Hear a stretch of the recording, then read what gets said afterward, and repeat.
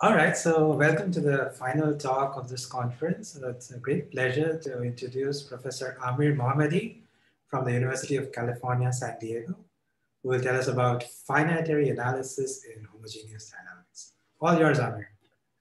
Thank you. Thank you very much for the introduction. It's a great honor to be here and uh, give this talk. This being the last talk, I think we should all thank the organizers and the support team for this great conference. So uh, with that, maybe I'll get to the talk. This is a half hour talk, so I'll try to be brief, maybe even finish before half hour so we can be ready for festivities. Uh, like Anish said, I want to talk about quantitative aspects of flows on homogeneous spaces. This has already appeared at least in two of the talks, Hee Oh's talk and just Nimish's talk just before this. So I would like to start with the following celebrated conjecture of Raghunathan proved by Ratner uh, that if you have a Lie group and you have a lattice in this Lie group, a discrete subgroup with finite co-volume, then we would like to understand orbits of every point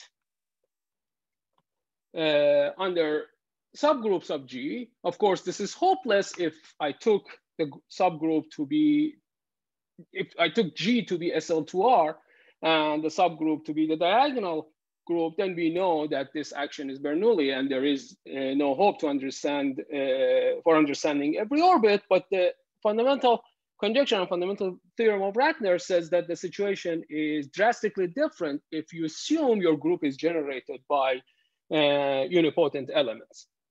And unipotent elements are those elements that uh, all the eigenvalue, all the complex eigenvalues are one. So there's strong rigidity that we understand uh, closure of every single orbit, and they're all uh, proper submanifolds. So they are all actually orbits of intermediate subgroups. The example to have in mind, which is actually, uh, in some sense, for application, number theoretical applications, perhaps the uh, case of main interest is G, SLN or its friends and gamma uh, SLNZ or analogs in arithmetic setting. And the group W, a one parameter subgroup, which is obtained by exponentiating some nilpotent element. So this is, if you haven't thought about this type of question, this is just to have in mind. So you can take W to basically be one, one, one, T zero, zero, or if you like more generic type elements,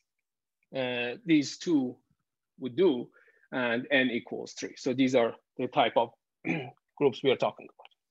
Now, prior to Ratner's uh, work, important special cases of this in the context of Oppenheim conjecture were proved by Margulis and Dani Margulis uh, using different methods. Mm, Ratner's proof went through measure classification and then she used linearization techniques developed by Dani Margulis uh, and also uh, versions that she adapted herself to uh, go from measures to orbit closure, but there was a, there was an approach actively pursuing uh, being pursued by Margulis and Dani Margulis, which used purely topological arguments to prove this topological version. I'll come back to this later in the talk. And around the same time that Ratner's theorems were uh, well appeared, Nimish had uh, also studied quotients of SON1 with lattices and unipotent flows here. This, I think, appeared in Hee Oh's talk yesterday. Uh, she mentioned this work as well. So that's one remark I wanted to make. Uh, well, this is not in, so what I've written here, historically, these are, this should have been switched, but I just wanted to go in that direction. The case uh, that is classical somehow is when W is a big subgroup of your group G. Think about G being SL2 and W being the upper triangular, strictly upper triangular group, or more generally, G being SLNR and W being full group of upper triangular groups. So these groups are called horospheric subgroup because they can be, okay, they can be contracted to identity using some uh, non-trivial element in your group, and they're all the elements that can be contracted. So they are somehow in the language of smooth dynamics, if you want, these are stable or unstable leaf for some uh, flow, full stable or unstable leaf for some flow. And the study of this type of rigidity result for these groups has even a longer history. Already in the 30s, Hedlund understood what happens in dimension two. So the picture is very explicit. If this is your copy of H2, which I've drawn in ball model, and the horosphere is a circle, which is tangent to the boundary, then when you project to your manifold, which is H2 mod gamma, okay, if the manifold is compact, then you have minimality. Every single orbit is gonna be dense. If the manifold is not compact and you have a cusp, of course, you can't expect to have minimality because cusp, boundary of cusp is a closed horosphere, horocycle in this case. And but what Hedlund shows is that that's it. You're either closed or dense. And this, uh, this picture is very, uh, somehow very complete. Like I said, this is in sharp contrast with the case of geodesics. If you take a geodesic and projected, the only obstruction you have really is dimension. You can attain any Hausdorff dimension between one and two for the closure. So it's a very different story there. Uh, now, I am going to be focusing on groups that are generated by unipotence or groups that are very close to groups being generated by unipotence, but it needs to be mentioned that uh, cases of other groups, groups, uh, higher rank abelian groups, or uh, random walks by non-amenable groups, as well as going beyond the homogeneous space and looking at maybe SL2R action on the space of uh, on the moduli space of compact Riemann surfaces, these have been extensively studied with fantastic results and which have been celebrated by many awards, etc., etc. I don't want to. So if I were to list the names here, I think uh, that would be the talk. Just list of people who have worked on these problems. But okay, so let me just leave it at that. Uh, and just going back to Hee Oh's talk, the condition that gamma is a lattice is quite important in all of what I'm going to be discussing today. Uh, a natural question is how necessary it is. Of course, we saw yesterday that it is necessary. Nevertheless, there are classes of, classes of manifolds that this can be lifted, and this is also a fascinating direction that uh, one would like to understand this type of rigidity result. And our knowledge is basically restricted to horospheric case, except the cases that he talked about. So that is uh, maybe history of this part that I wanted to talk about. Like I said, I have left many names, uh, left out many names, but my apologies. It's uh, somehow, it's this area has been around for some, 40 years or something, 50 years maybe now, and it's very difficult to just cover all the names in a half hour talk. But the aspect that I want to somehow focus on is what's missing from these fantastic results. And what is missing is the quantitative aspect of the questions. Of course, it, if you want to look at the hierarchy of the results, one thing that I should have mentioned, but okay, now maybe I can mention, the, I emphasize that the important, the somehow power of Ratner's theorem is that it gives you information about every orbit. If you were satisfied with information about almost every, in presence of ergodicity, this is somehow, this is a, well, you can call it a trivial exercise, uh, using ergodic theorem or just using somehow second countability of the space to show that you have almost every point behaves the way you want it to. But Ratner's theorem tells you statement, gives you a statement about every point. point and beyond unique ergo, uh, beyond uniquely ergodic systems, this is really the only example that we have information about every point. Of course, uh, I, I, mentioned these other works, but they are all Ratner type results that they give you information about every point. So now, so Ratner went from almost every to every, the question I'm asking is that, okay, we have information about every, this is great, it's had many applications, but uh, is it possible to somehow have finer information? Is it possible to have effective accounts on these density results. What's the rate that I'm gonna fill up my closure? This is the question I want to ask. And this question uh, was already, I'm not the first person to ask it, this question was already uh, asked in Margulis's 1990 Kyoto uh, ICM talk that he poses this question as one of the challenging directions to go forward. And I hope to somehow report on some of the progress that has happened around this problem in past 30 years or so. Uh, first, a word of caution is that usually such a result is going to be difficult to state and it's going to depend on delicate properties of both your acting group and the point you started. Already you see this in uh, for rotations on a circle. I've drawn a uh, continuous example of this. If you want to take rotations on a circle, depend the angle, the irrationality of this angle enters uh, the picture on how fast you will equidistribute on the circle. If you have a Diophantine angle, you will equidistribute fast. If you have something that is a Liouville number, you're very close to being approximated with rational numbers of bigger and bigger denominators, then it will take you forever to, will take me forever to become equidistributed in the circle. And here's a continuous example of this in two torus because I said W was connected, just a connected example.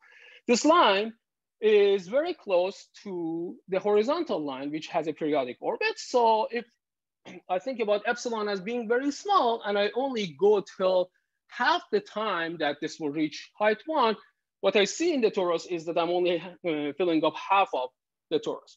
So first, there are two things I want to mention about this example. Well, it, it tells you that if you're close to a periodic orbit, it will take a long time to be equidistributed, to be dense. Uh, secondly, it tells you that you can't hope that the entire life happens near one closed orbit. You must allow families of closed orbits that maybe, so you spend some time near this and then you go spend some time near the other one, but these come in some sort of a, uh, if you want, tubes of uh, these kind of subgroups. So that's, these are the two things I want to mention about this. All right, so now what is known? The case of when the ambient group itself is unipotent, so the case of the torus included, uh, this was beautifully answered by Green and Tao, where they actually prove polynomial rates for the distribution or density of these uh, orbits, actually discrete times, even polynomial times they take. And but the methods there are somehow restricted to unipotent uh, groups. They use induction, they use some van der trick argument. So they use induction on the nilpotency of the group to prove this. And it's there, there are techniques that just somehow are, they stop if you leave the unipotent word. Uh, the case that I'm going to be focusing on mainly is what happens for semi-simple groups. So that is the case that is going to be the main concern here. Uh, again, these results I'm stating are not in chronological order. I've just listed them in an order that I hope will make the talk easier to follow. So Lindenstrauss and Margulis proved uh, an effective version of the Oppenheim conjecture in dimension three. And what they show is that the, so Oppenheim conjecture says that if I give you a ternary form, uh, ternary quadratic form, non-degenerate and irrational, not being a multiple of a rational form, then for every epsilon you give me, I can find you uh, an integral solution. I can find you some vector in Z3 so that the value of the quadratic form is less than epsilon. So the natural question is how big of a vector do I need? already know that for indefinite rational forms, Cassels had these bounds on the size of the solution, smallest solution you have. This is uh, for irrational. And what they prove is this beautiful result that if you assume your form is the uh, Diophantine, think about a form that's not a multiple of a rational form, but one of the coefficients is square root of two, that type of form. Then for every epsilon, you can find the solution and the solution has a bound. So the size of the solution is exponential of one over epsilon to power n, n is an absolute constant. So there's an absolute constant that for a Diophantine point you give me, I can uh, solve this Diophantine inequality like this for provided that epsilon is small enough and this how small this initial epsilon should be this depends on the Diophantine properties of your point the degree of the uh, coefficients etc okay so this is uh, one beautiful result as you see we don't quite get the rate that maybe uh, now we know actually for a typical form. For a typical form, you need you are gonna have a polynomial rate. This was, well, at least I know of two works that they will give this, Athreya and Margulis, and works of Dubi, Kelmer, and Anish Ghosh, uh, that you, you will get a polynomial rate for a typical form. Also, Bourgain showed that for typical form in a one dimensional family of uh, quadratic form. In a certain one dimensional family, you get a polynomial. But what one gets here is uh, this type of exponent of a polynomial. And this work somehow, uh, so builds on this topological approach of Dani and Margulis that I mentioned. That topological approach utilized a notion of minimal sets. Of course, minimal sets are not effective, but there's an effective replacement by this, uh, which is this linearization technique of Dani and Margulis. And that is somehow what is done here. If you just do that, the rate you're gonna get here is gonna be worse than this. You're gonna have x pub, x pub this. Uh, another ingredient, uh, another novel ingredient in this work is some combinatorial lemma, which actually takes care of one exponent and you get this. In an ongoing joint work with Lindenstrauss, Margulis, and Shah, we prove actually a full-blown effective version uh, for this for flow, unipotent flows on arithmetic quotient. The rates we get are quite bad. If this is one exponent here, imagine that you're gonna have x pop, x pop, x pop uh, 1 over epsilon n, and the number of exps you need uh, depends on the dimension. So the higher the dimension, the slower the rate of equidistribution. But given the current technology, I mean, with the current technology and in this generality, this seems to be somehow uh, what one can do without introducing new somehow techniques. If you want to take uh, Dani Margulis's proof and try to effectivize it, this is a tedious work. It's challenging. And what you're going to get is a rate of this sort. It somehow doesn't seem possible that just effectivizing existing proofs will give you uh, better rates. Okay? now, I want to talk about uh, whether we know better rates in semi-simple settings as I already mentioned, uh, Green and Tao proved polynomially uh, effective density result in the case of unipotent groups. Now, how about in the case of semi-simple groups? Some results are known. Uh, the action of horospheric groups, which I mentioned, were classical in the, qualitative world, works of Hedlund, Dani, and Furstenberg. Uh, in this case, also, they, they, are very well understood. They are well adapted to techniques from harmonic analysis, decay of matrix coefficients, mixing rates, whatever you want to call it. Different people have strong opinion on uh, how to call these techniques. And there is extensive literature on this. This is, again, just a uh, some list of people who have worked on this. Margulis's thesis, Sarnak's, what they what I thought was Sarnak's thesis, but I may be wrong here, uh, Berger's work and several other works, they address this case of horospherical uh, group. There is an asterisk there for Strömbergsson's work. Strömbergsson has certainly worked on the horospherical group case and has probably the sharpest results one has, but uh, another theorem of Strömbergsson's which needs to be mentioned is the case of semi-direct product. He's also proved the result about SL2R semi-direct R2 and the acting group being the, the one that projects into horospheric in SL2. And this is, okay, this is beyond horospheric case. It's closely related to horospheric, but it's beyond horospheric case.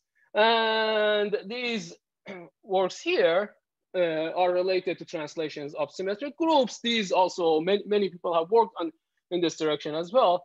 These symmetric groups are somehow, because of polar decomposition, and Iwasawa decomposition, they're close to be to horospheric groups. So algebra helps there. And one can show that if you translate these in a direction that you increase the volume, you have effective results. a fundamental contribution was made by uh, Einsiedler, Margulis, and Venkatesh. This is, I think, um, maybe 2007, 2008, uh, where they study periodic orbits of semi-simple groups in quotients by arithmetic groups. And they prove a polynomially effective equidistribution. It's polynomial in the volume of the orbit.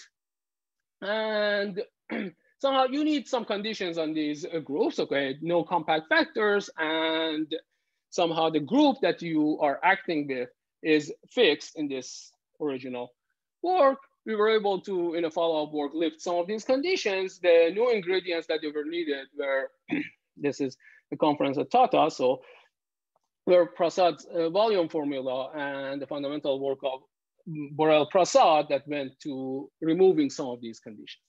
But there is a reason that one gets a polynomial rate here. And the reason is this strong, deep input from number theory that of uniform spectral gap. That when you look at all these periodic orbits, there are congruence quotients, and then you have property tau. So you have a uniform spectral gap, which you can use to get a, an effective ergodic theorem. And when you have an effective, effective ergodic theorem, then you can somehow try to build them. Uh, an important direction that is remaining in here is to allow for the acting group to have centralizers. This will have applications in number theory, which, okay, that seems to be quite technical and still remaining open. That is in there. There is very important work, especially for what is going to follow. This work is important on its own, but it's also, it's even more important for the remainder of this talk is the work of Bourgain, Furman, Lindenstrauss, and Mozes, where they study random walks on torus and they get effective equidistribution results here. The techniques there are quite different from the techniques I mentioned here. They, so they use some projection theorems of uh, Bourgain and theory of random matrices. And well, because it's a torus, they also use Fourier analysis, but uh, it is the, the, the, techniques are quite important for what is to follow.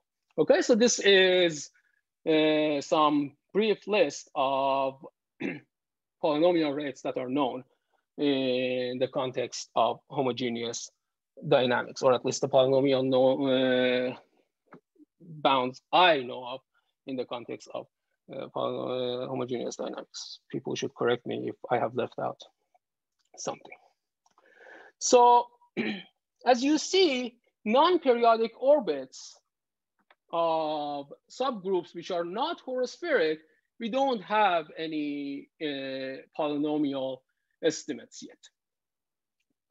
So the case I mentioned, the joint work with uh, Lindenstrauss, Margulis, and Shah uh, is about general orbits, but the rates we get are far from uh, polynomial. The rates you get are uh, rather weak.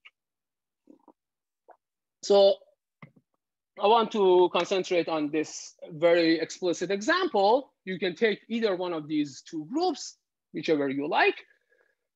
So SL2C or SL2 times SL2 and gamma is a lattice. And I want to fix the, a copy of SL2R, a copy of SL2R inside G. Of course, in SL2C, it's clear what I mean by a copy of SL2R. in SL2 times SL2, there are three copies, but two of them are normal. So you can imagine that I'm not interested in those. Study of those reduces to horospheric cases is, is not very, that is not very interesting. The, the interesting case is the case of a maximal subgroup, which is this diagonally embedded copy of SL2. And I'm going to fix the uh, Borel subgroup, the upper triangular uh, subgroup in H. Of course, you can complain that I said groups are generated by unipotents, and this one is not, but this is very closely related. We already saw uh, what Nimish was discussing was these expanding translates of horospheres. So it's uh, this is of that case, and uh, maybe more using more algebraic terms. These are, this is an epimorphic group in H, and already I think in early 90s, Shachar uh, observed that if you have an epimorphic group, orbits of epimorphic groups, uh, of so orbits of P are the same as orbits of H using Ratner's theorem. So there, it's very closely related to H. Indeed, H is non-amenable, and if you want to understand orbits of H, you better work with an amenable subgroup of it. It's somehow you're you're just forced to do that because if you fix uh, a ball in H and you move this ball with the random elements, this is going to go in the direction of P. It's there's just nothing you can do. So one way or another, you need to study this P action.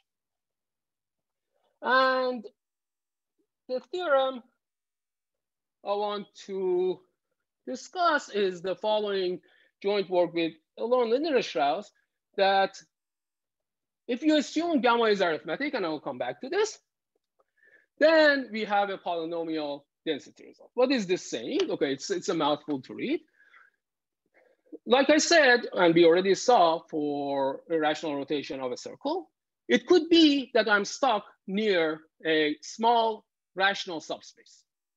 So case two you see here is being near small rational subspace. Case one is the interesting case, which is density. So what this is saying is that you give me a point and I want to apply ball of radius R in P in the group of upper triangular matrices to this point. And I want to ask whether this is polynomially dense, whether I get R to power minus epsilon close to every point. The statement is that yes, unless you're too close to small orbit of the SL2 that I discussed.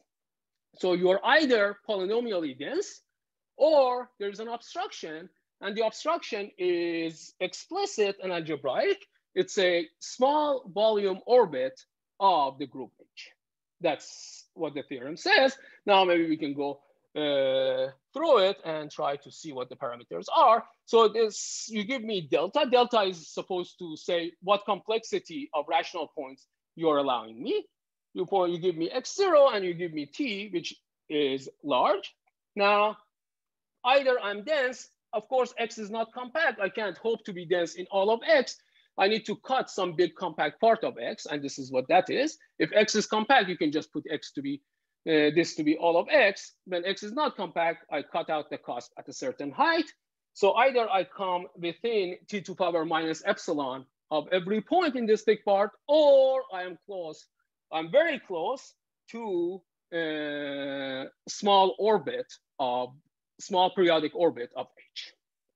So that's what the theorem says. Okay. So the proof uh, uses ideas from additive combinatorics, uh, broadly speaking.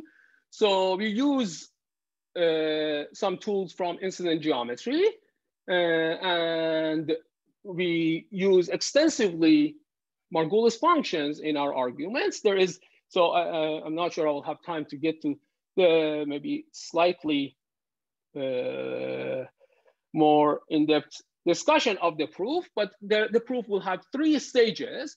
So the stage one is some initial randomness, which we get using arithmeticity. I should mention here that I said I was gonna mention a word about arithmeticity, but I somehow didn't. If you don't want to take the group gamma to be arithmetic, you need to modify the statement rather than being near a periodic orbit.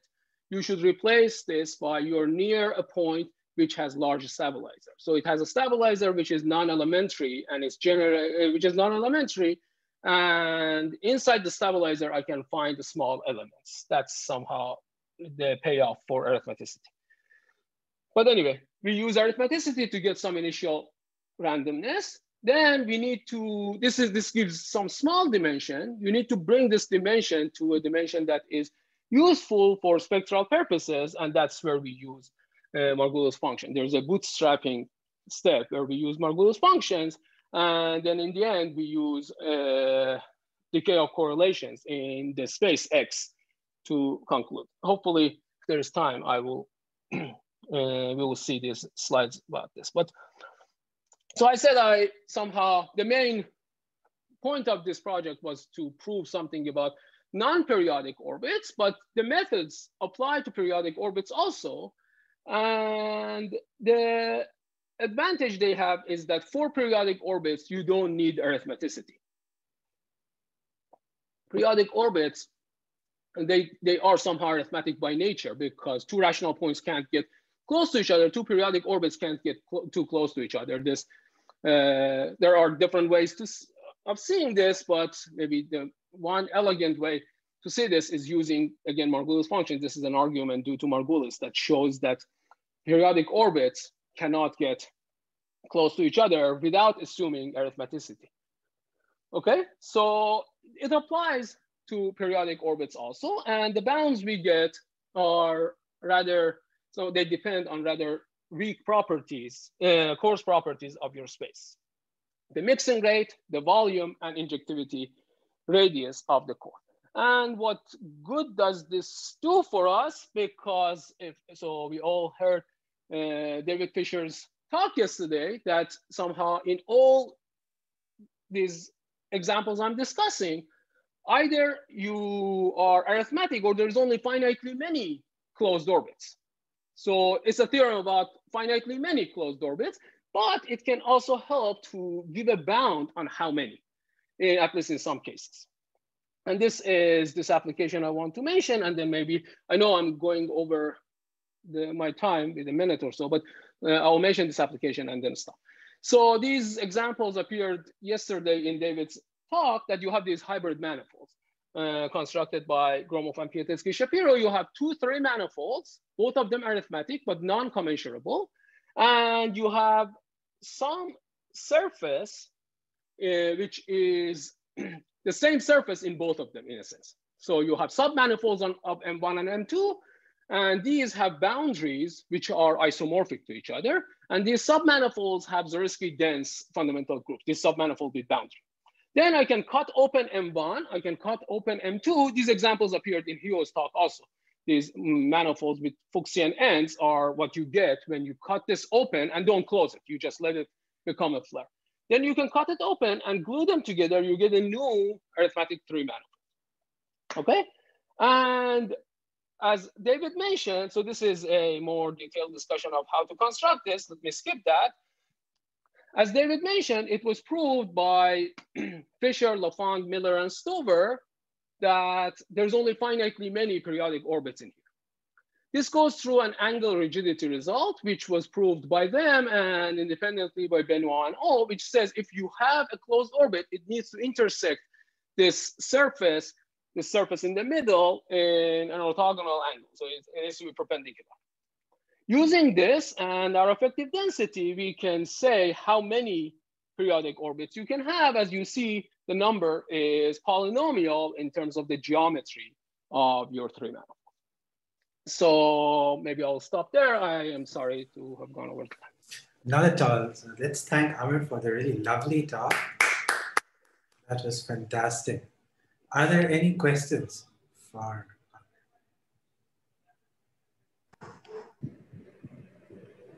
uh, it's, not, it's not a question. Uh, I want to apologize to Amir for the disturbance caused at the beginning of his lecture because I'd forgotten to unmute. I'd forgotten to mute my Mike, sorry about it. And sorry. thank you for your very nice talk. Thank you. Thank you very much.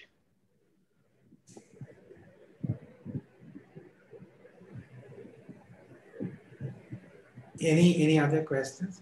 So I mean, I just had a, small confusion. So this uh, this result of yours um, and the previous this uh, Einsiedler Margulis Venkatesh so what were the groups and the things? I just got confused in.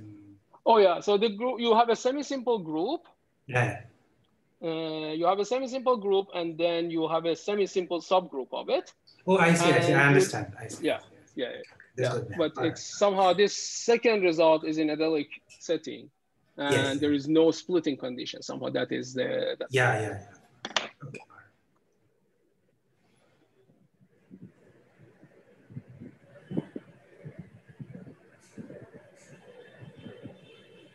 Uh, Any other questions or comments? If not, let's thank Amir once more for a lovely talk. Thank you.